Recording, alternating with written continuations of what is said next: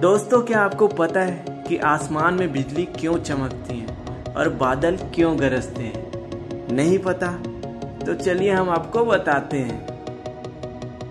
दोस्तों, आपने अपने घर में या बाहर बिजली की तारों में उत्पन्न छोटी चिंगारी तो देखी ही होगी।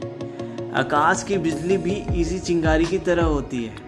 बस अंतर ये होता है कि ये चमकने वाली बिजली बड़े पैमाने की चिंगारी होती है।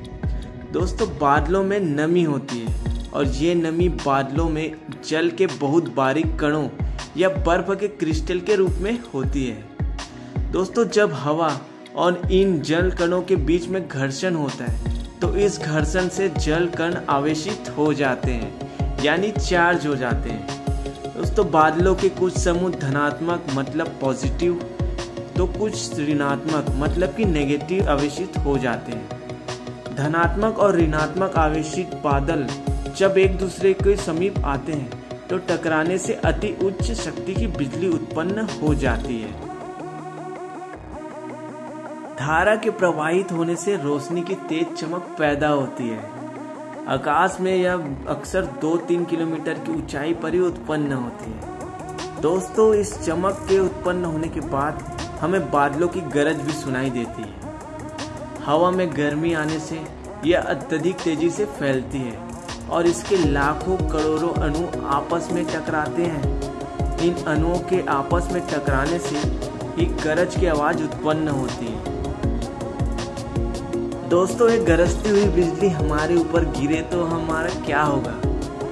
हम तो भगवान को प्यारे हो जाएँगे। लेकिन दोस्तों, एक शख्स ऐसे हैं जिनको ये बिजली का गरज फ़ायदा कर गया। जी हाँ दोस्तों, एडविन रॉबिन्सन नाम के एक शख्स जो जन्म से ही अंधे और बहरे थे, लेकिन सन 1980 में इन पर आकाशीय बिजली गिरी, जिसके बाद इनकी देखने व सुनने की शक्ति वापस आ गई। दोस्तों, क्या आपको ये पता है कि दुनिया की सबसे खतरनाक चीटी कौन सी है?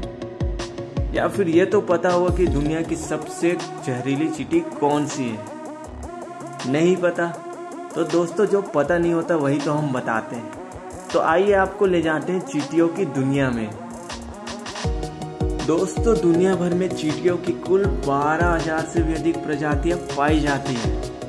क्या आप जानते हैं कि चीटियाँ अपने जीवन काल में बिना सोए लगातार काम करते रहती हैं? दोस्तों, एक खास रसायन के द्वारा चीटियाँ एक दूसरे से संपर्क साधती हैं।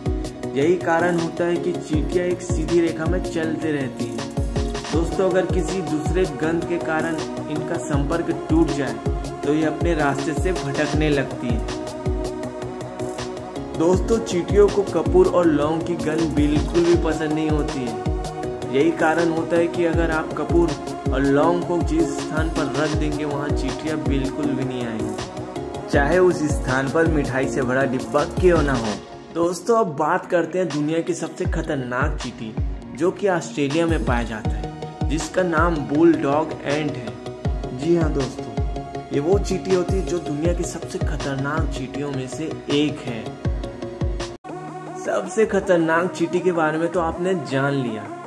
आइए जानते हैं चीटी के एक और प्रजाति के बारे में, जो अपने नाम के अनुसार ही काम करती है। जी हाँ दोस्तों चीटी की एक और प्रजाति, जिसका नाम होता है बुलेट चीटी।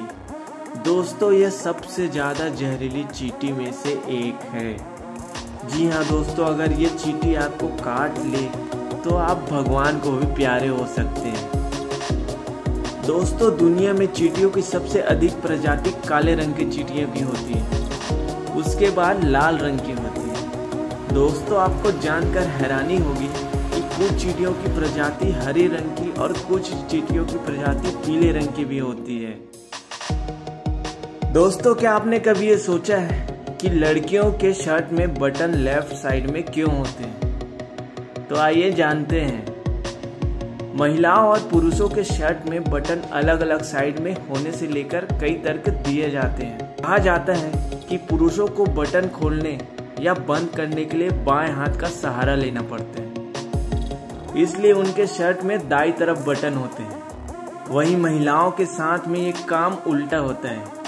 इसलिए महिलाओं के कपड़े में बाई तरफ़ बटन होते हैं।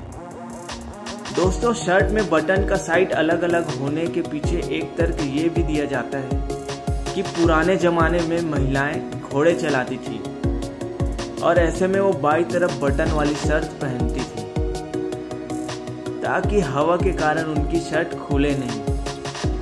इसके बाद से ये कॉन्सेप्ट यूँ है, बरकरार रह गया और मेकर्स ने इस तरह की शर्ट बनाना शुरू कर दिया दोस्तों, कहा यह भी जाता है कि पहले पुरुष दाएँ हाथ में तलवार रखते थे, जबकि महिलाएँ अपने बच्चों को आसानी से गोदी में लेने के लिए बाएँ हाथ का इस्तेमाल करती थी। ऐसे में महिलाओं के शर्ट में बटन को बाई तरफ़ लगा दिया गया।